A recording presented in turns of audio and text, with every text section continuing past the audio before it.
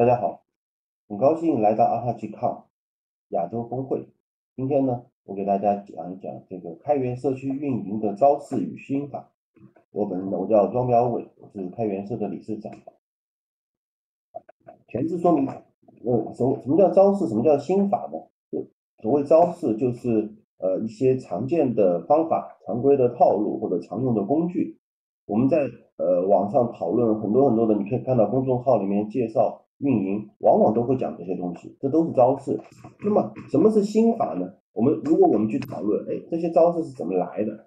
这些招式在什么时候可以用？这些招式的效果到底好不好？谁用了好，谁用了不好？为什么好？为什么不好？在这种时候，我们就开始了反思。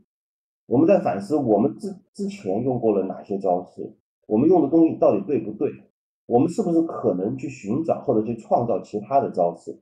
这个时候，我们就进入了心法的探讨层面。今天我们要讲的主要内容呢，还是心法。不过，为了讲清楚一些心法，我们会举一些招式的例子来作为靶子。举例说明，比如说，我们需要向呃开发者介绍我们的某某技术，比如说我们领导呃布置我们要写一篇文章。然后呢，我们可能就想好了，我们的我们的产品名称是什么？那么这个产品有哪些特点？所以我们要为这个介绍文章要起一个什么标题？哪些东西要写在这篇文章里？要不要配图？要不要配动画？要不要配一些有趣的段子？要不要塞一些什么什么东西进去？或者说，呃，我们我们应该把这篇文章发到哪个平台？还是都发？还是先发哪个平台，再发哪个平台？是不是要引发一些讨论？是不是我们除了发文章之外，我们还要去做一些这个别的活动？如果如果有别人看到了我们的文章之后，那么我们是不是有一些什么抽奖啊，或者是引导他们点击啊、注册啊，如何转化成为我们的试用产品的用户啊等等？这些都是我们写文章之前就要考虑的问题。等到我们把文章发出去之后呢，我们还要去判断这篇文章到底起不起作用，比如说点击率、打开率、呃阅读量。这个访跳转到我们的网站的访问量、转化率，我我们会可能会去看这篇文章的有效性。那么，如果我们已经写了一篇文章，我们是不是要有个组合拳呢？比如说，我们要搞一个直播啊，办一个比赛，呃，做一个抽奖，搞一个技术大会，或者是我们把我们的布道师派出去，同样的这个技术，我们让布道师本人去讲，等等。所有的这些东西都是可以做，可以做这样，也可以做那样，都是一些招数上的选择。当然，我们在做社区运营、做开源社区运营也好，做技术社区运营也好，我们通常日常工作都是这些。但是，当我们开始提出以下的问题的时候，比如说，我们为什么要发这篇文章？或者说，我们为什么要发这样的文章？甚至我们还会问，我们为什么要推广这个技术？我们要把这个技术推广到哪些人那里去？我们想吸引的是什么人？我们想吸引的是什么特质的人？我们想吸引的是对什么样的技术感兴趣的人？然后把他们吸引来之后，我们又能做什么？他们来了之后，能够成为我们社区的一份子吗？他们有没有可能成为我们社区的贡献者？他们有没有可能来到我们的社区来了还不想走，乐在其中？我们在问这样的问题的时候，我们渐渐的就进入了心法的层面，甚至进入了道的层面。那么，我们来聊点心法。第一个心法，这是呃《论语》的里面的一句话：“知之者不如好之者，好之者不如乐之者。”啥意思？我们稍微解释一下，就是说，所谓知之、乐之和好之。好知之好之和乐之，本质上就是说，你首先要从一个从了解到热爱，从热爱再到乐在其中。当然，我们很多时候都会说，一个人你热爱和乐在其中是是一体的，是互相促进的。那么，从一开始你完全不懂，完全不知道这个背后的技术，或者说也不了解这个社区，然后你进来，慢慢的开始有所了解，开始变得有热爱。开始变得乐在其中的时候，这就是一个越来越好的过程。事实上，我们在做任何社区，我们在做任何一个希望把人留住的，我们更看重人而不是看重数据的那种社区的时候，我们都希望来的人能够感受到乐趣。这是这是我们的核心目标，我们追求的是快乐，不仅仅是呃我们这个社区的那种表面上的快乐，而是希望来的人能够持久的感受到快乐。当然，任何一个领域的新手小白。他如果来到这里，他首先还是考虑的是求生啊，比如说我能够学会什么东西，我能够我能够掌握什么东西，然后等到我掌握了简单的任务，掌握了常用的技能之后，哎，我开始慢慢的从一个知之者，有可能变成好之者。很有意思的是，我们不说开源社区，不说技术领域，我们就说。开源社区运营这件事情，它同样也会经历知之、好之和乐之这件这三个阶段。比如说，你你现在是一个运营的小白，你完全不懂什么叫做社区运营，你甚至连写文章该怎么写你都不清楚。这个时候，你是一个处在求生状态的运营小白，那么你也要掌握技能，了解基础知识，然后才能够完成一些简单的任务。等到你在这个社区里面。慢慢的开始运营出一些感觉的时候，你也会体会到乐趣，这也是这样的一个过程。那么开源社区是一个比较神奇的领域，就是相比起其他社区，相比起其他领域，乐在其中的人比例非常的高，很多人是因为这个原因在里面。所以如果如果你是一个想要到社区里面去开始从事社区运营也好，开始去理解什么叫社区运营也好，你你你有更多的机会。你作为一个新人，你有更多的机会去探究，这些在社区里面他们的快乐在哪？他们为什么会觉得很有意思？为什么乐在其中？然后你会去思考一个问题，就是我如何成为一个乐在其中的人？好，下面一个心法就很有意思，这是老子说的一句，对对，庄子说的。庄子跟那个惠施说的，叫“子非鱼焉知鱼之乐”。他们两个人在抬杠嘛。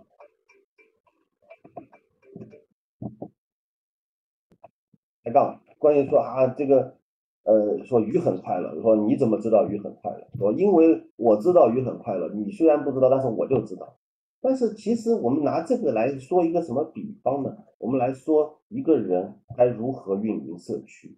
本质上来说，如果如果我们将一个社区看成是一个鱼塘的话，运营社区的人有两种做法，一种做法是。他是一个站在鱼塘边上的人，他在运营所谓的运营这个鱼塘，他是一个经营者，他想办法把更多的鱼引到这个鱼塘里来，或者去买鱼苗也好，或者是想办法引进新的鱼种也好，然后想办法把它们养养肥，养肥完了以后想办法去捞，捞出来以后一鱼能能有几种吃法，或者怎么卖掉，这是鱼塘边上的人，但是。但凡你是在鱼塘边上的人，你跟鱼的关系就是利用者和被利用者的关系，或者叫经营者和被经营者的关系，你是不可能体会到鱼的乐趣。而我更推崇的，我更希望的是，如果你是一个社区的运营者，你应该成为社区这个池塘里的一条鱼。这个时候，你的运营的目标就变了。你不是在想啊，我要经营经营一个鱼塘，我要把这个鱼塘的鱼变得多多的、肥肥的，可以更好的卖钱。不是的，你在想的是，我既然也是其中的一条鱼，我怎么才能乐在其中？我要创造的就是一个我也乐在其中的社区。我可不想被人吃掉，我可不想被人作为某种价值来计算。那是一个我愿意待在里面，我愿意快高高兴兴、快快乐乐的乐在其中的一个地方。那是我家，那是我们家，那是那是我们的地盘。这个时候，你对鱼塘的看法，就跟站在边上的人是不一样的。这个时候，你在问：如果这是一个鱼塘，如果我也在生活在里面，我们如何把这个鱼塘变成一个健康的、繁荣的生态圈？我能做哪些事情，让这个生态更加繁荣，更加的欣欣向荣，更加的让别人也愿意来？好，下一个心法这个其实就是讲到什么叫做快乐。我们接着再来分析乐，这又回到了《论语》，《论语》又又在说“独乐乐不如众乐乐”。为什么会说到这样的一个区别呢？其实这里要提到黑客社区和开源社区的区别。我们说黑客 （hack），hack 和 hacker 就是它是一个英语单词，它最早的英语单词在英语的本意里面，hack（h-a-c-k） 的本意是砍和劈的意思。那么 hacker 其实就是我们如果读过《三体》的话，我们把《三体》里面有破壁人，是专门去。识破面壁人的那种不可告人的计划的，那种人。那么黑客，他们所谓的破壁人，在我看来就是用巧妙的办法去打破规则的人，这是他们的乐趣所在。当然，我们再稍微解释一下 hack 和 crack，就是黑客和骇客的区别。就是如果我我们大家都能够，就是说我们如果有足够的这个技术经验，或者说是有敏锐的发现能力。有如果有一些技巧，我们能够发现各种各样的系统的漏洞。当我们发现了漏洞之后，会做什么事情？黑客和骇客的选择是不同的。黑客的想法是：哦，我发现了一个漏洞，这个漏洞是有问题的，所以我要想办法把它补掉。补掉了以后，这个系统会变得更好。那么他的乐趣是什么呢？他的乐趣是，我发现了这个漏洞，但是我补掉了漏洞以后，别人没有办法再进来。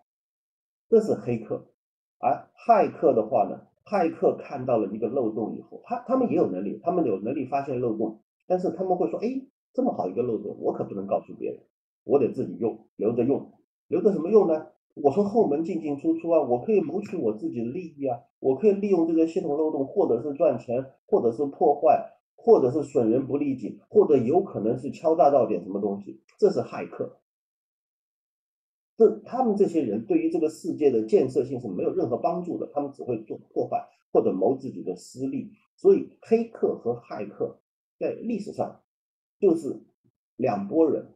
虽然在这个圈子之外的很多人会会混淆，说啊这个他们是一回事，他们都是会会搞计算机漏洞的人，但其实发现漏洞之后的态度是完全不同的。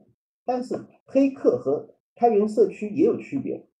区别就是，黑客很多时候是自得其乐的人，就说他自己做自己的项目，做自己的技术，甚至他把代码放出来开源了，然后无所谓，无所谓，你你愿意帮他，当然很好，他也很感谢。但是如果没有任何一个人参与，没有任何一个人帮他，他自己写他的代码，他一个人写五年、十年，甚至坚持二十年，根本他不在乎你。他自己就已经足够快乐，他能够自得其乐。但是开源社区，他是要追求一个更大、更多的人的增长，他会去思考一个东西叫社区运营。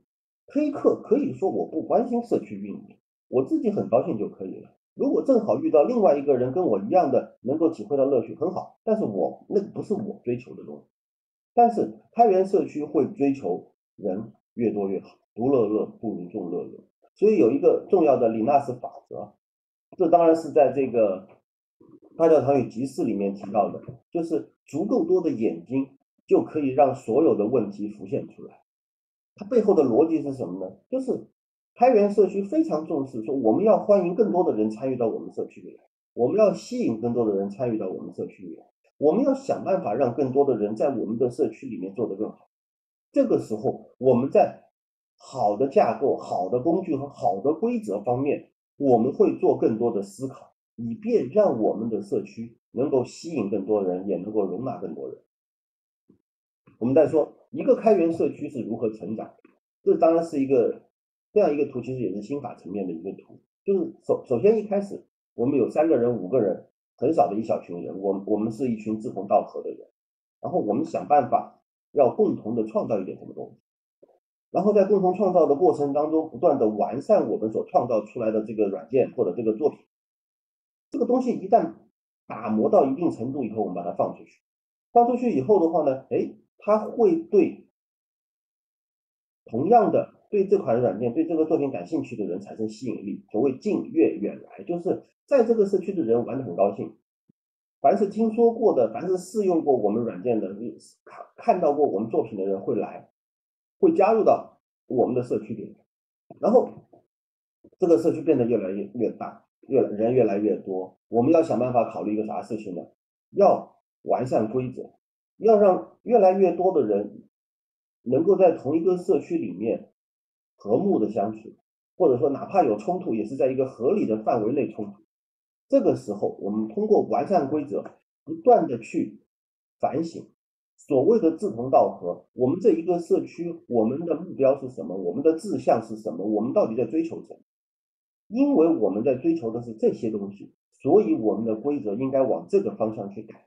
等等，在这样的一个循环过程中，我们有可能不断的达到一个更高的水平，不断的螺旋上升，我们在创造更好的、更庞强大的好的产品，我们也得到了一个更加壮大的、更加健壮的、更加繁荣的社区。我们的开源社区就是这么增长起来。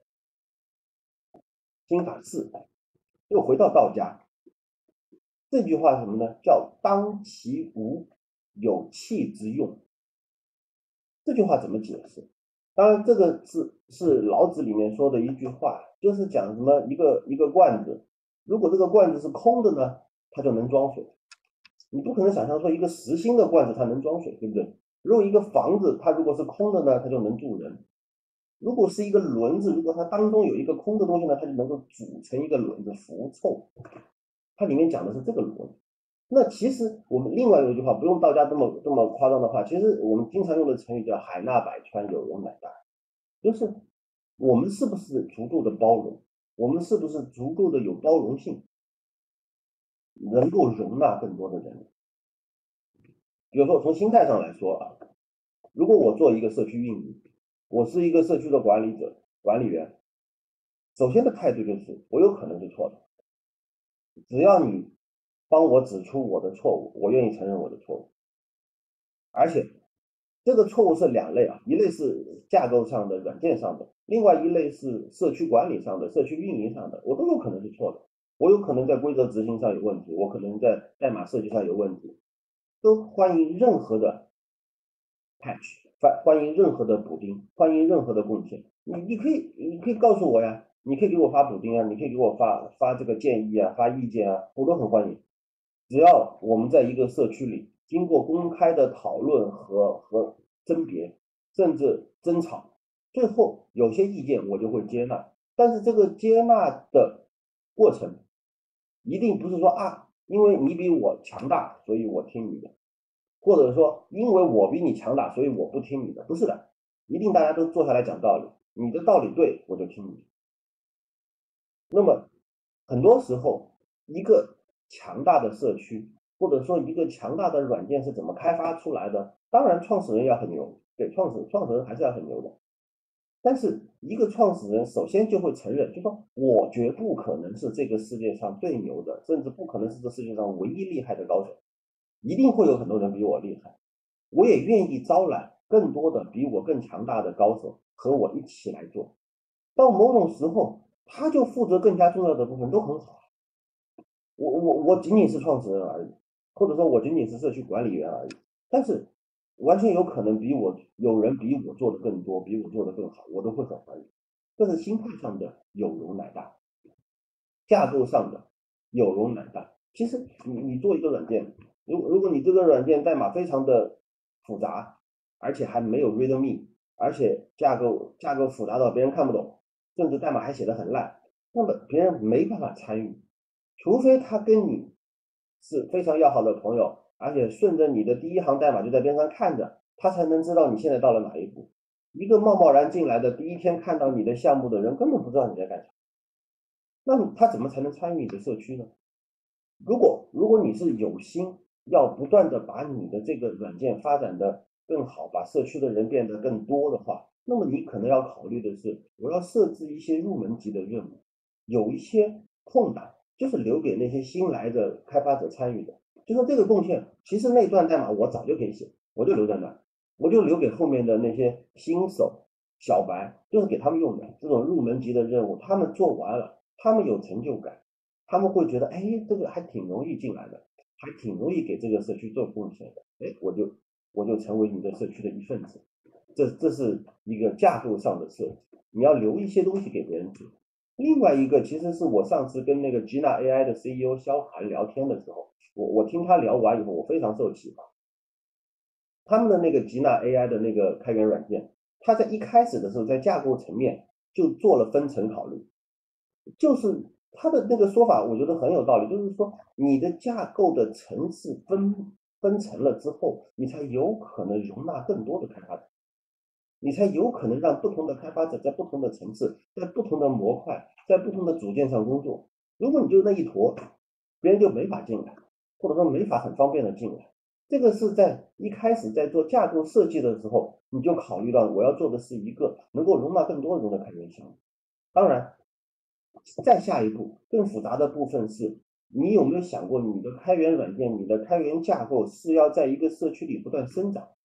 而在这个生长的过程中，你在做架构设计，就要为它的未来的生长留下空间，为它的生态发展留下空间，为它的这个整个社区的不断的成熟留下空间。当然，我我不可能说，哎，你现在就想清楚，这是天才，这不可能。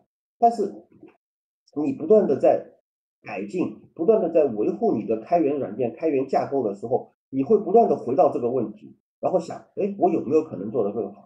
我有没有在什么时候？我我是不是需要重构了？我是不是需要考虑一些哎新的模块的方式，让更多的人能够贡献进来？这是一种有容乃大的架构。金法五，这个又回到了儒家，孟子说的“尽信书则不如无书”。但这句话已经是很常见了，我们稍微展开说一下。首先。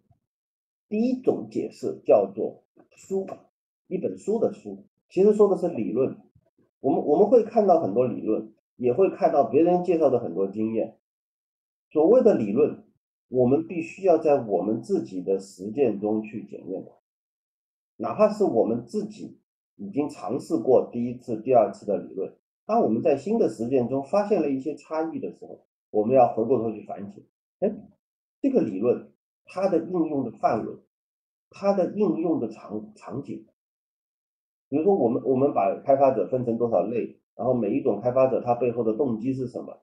假设我们我们就看到了一些呃理论文章，或者说一些啊动机的这种分析文章，那么这些东西很有用，也很能够帮助我们去思考我们怎么样做开发者运营，比如说我们怎么样去去优化这个开发者动机，但是最终。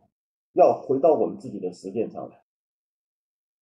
就前面我我前面刚刚在听那个呃开老师的那个，我们正好在开一个会，就夏小雅在分享，她正好前面读了一篇论文，就是在讲开发者动机分析。但是那个开发者动机分析的样本数量是多少呢？二百一十四个样本。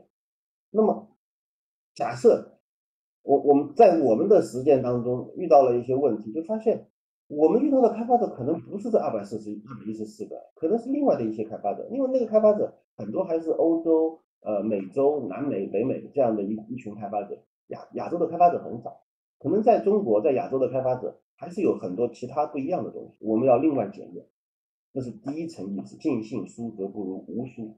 第二层是尽信数则不如无数，数据的数，数据是有用的，KPI 是有用的，表格。看板是有用的，但是我们不能够只看这些数据，我们必须要像前面最开始说的，我们要像一条鱼一样的生活在这个社区里，我们不能够只看数据，我们要回到自己的感觉，要结合自己的体会来判断这些数据究竟有没有发现问题，究竟有没有反映真实的情况，这些数据够不够？比如说，呃，我跟一个人聊天，聊着聊着，他跟我说，哎，最近这个社区里这个氛围有点问题啊，他们在吵一些什么什么东西，但是我在数据里看不出来，我觉得都挺好的。那么，我该如何去判断当前的这个社区的真实的情况？这个时候，数据只是辅助，所有的指标都只是辅助，真正运营的人还是得靠我们自己。最后一个数是招数的数。你你相信招数还不如无数，尽信数则不如无数。所谓的窍门、妙招、工具，不是说没用啊，他们很有用。但是我们在使用的过程中，我们一定不能够只把它停留在招数的层面，我们一定要往下深究这些招数它为什么会起作用，它的本质是什么，它的价值在哪，它是因为什么机理、什么原因而生效的。这个时候，我们才有可能举一反三，我们才有可能从一种招数变成多种招数，翻出翻出新的花样来。那我的招数是层出不穷，因为我掌握的是招数背后的心法。这个时候，我们就从招数进入到法道法的这个心法的层面。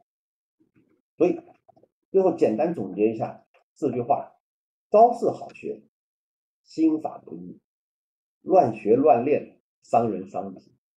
OK，今天就先讲到这，谢谢大家。